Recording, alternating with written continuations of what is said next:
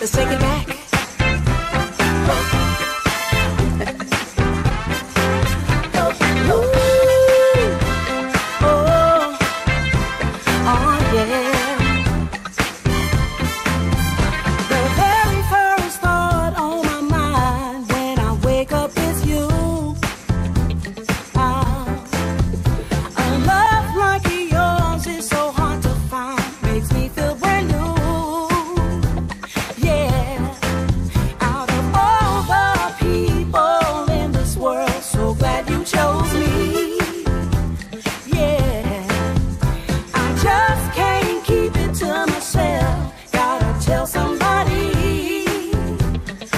not ashamed to tell